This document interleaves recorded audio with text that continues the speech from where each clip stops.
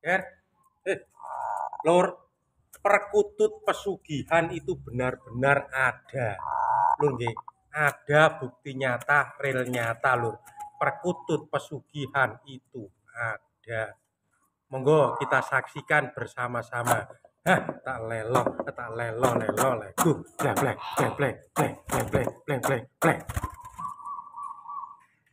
Assalamualaikum warahmatullahi wabarakatuh. Nggih, buat semua para dulur-dulur saya lan para sahabat-sahabat saya khususnya pecinta perkutut gacor dor tak kowor kowor dulur.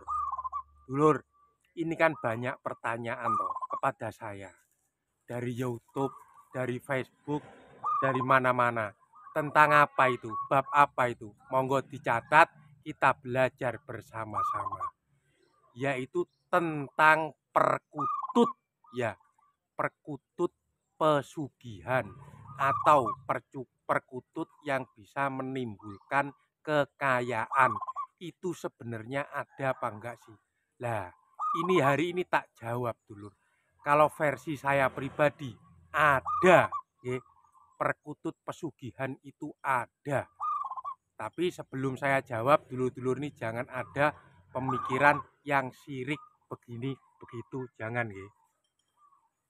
Begini loh dulur, perkutut pesugihan yang dimaksud perkutut pesugihan itu yang begini dulur.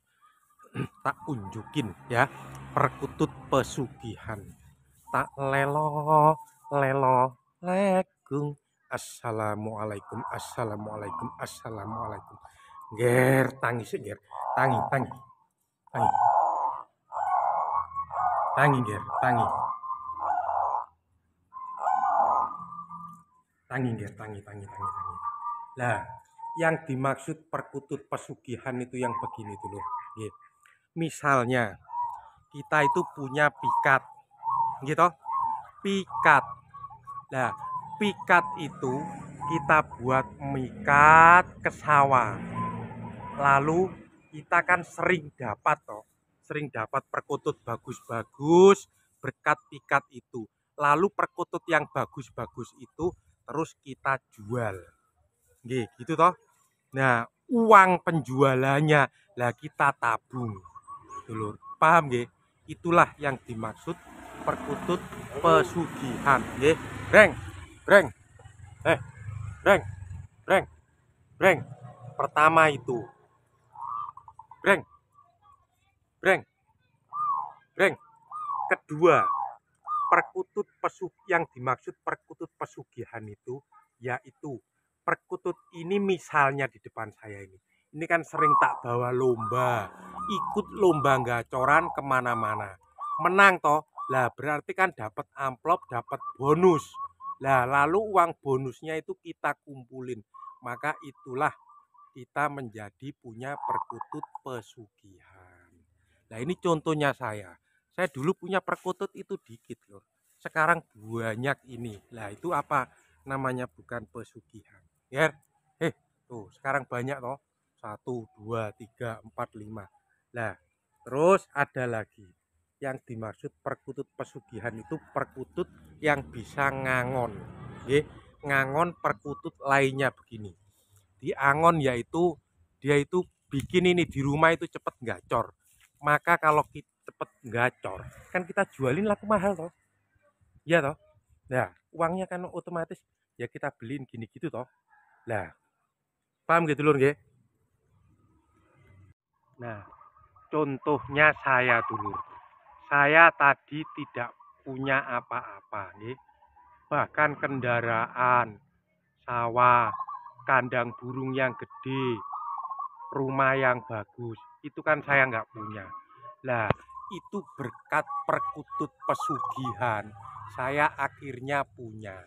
Perkutut saya jadi banyak, sawah dikit banyak punya, terus kandangnya tuh gedong begini, tuh itulah yang dimaksud perkutut pesugihan dulur. Nggih. Paham gitu dulur nggih? Tapi itu pun kalau kita punya perkutut pesugihan atau perkutut satu yang kita istimewakan yang kita buat mikat kita buat lomba bisa buat ngangon perkutut kita di rumah ya tetapi jangan lupa kita diimbangi berdoa sholat amal zakat sama Gusti Allah. Gitu lur nggih. Nah ini buktinya. Gara-gara saya punya perkutut pesugihan tuh. Sebanyak itu tuh burung saya tuh. Tuh. Saya tadinya dikit. Saya nggak punya sawah. Gara-gara perkutut pesugihan saya punya. Jadi perkutut itu bisa membantu bendoronya. Misalnya kita mikat dapat yang mental bagus-bagus dari perkutut pesugihan terus kita jual. Kita lomba gacoran kita dapat hadiah ada yang sepeda motor ada yang apa dari perkutut pesugihan. Terus perkutut kita ratusan terus diangon sama perkutut satu begini yang buat ngangon. Lah itulah yang dimaksud perkutut pesugihan. Jadi bukannya nyugi nyupang apa bukan. Gitu lur nggih. Paham nggih? Semoga paham buat dulu-dulu saya semuanya nggih jadi tidak usah perlu diperdebatkan. Kan banyak pertanyaan itu toh perkutut persugihan yang bagaimana itu ada enggak lah pertanyaan begitu toh. Lah makanya hari ini sudah tak jawab. Gitu dulur nggih. Semoga dulur-dulur paham dengan semua ini nggih. Sudah cukup sampai di sini dulu dulur nggih. Semoga ilmu atau wawasan ini bisa bermanfaat buat kita semua terutama buat para pemula. Perlu diingat dulur kerja keras diimbangi melihara perkutut pesugihan. Insya Allah akan kaya. Ye. wassalamualaikum warahmatullahi wabarakatuh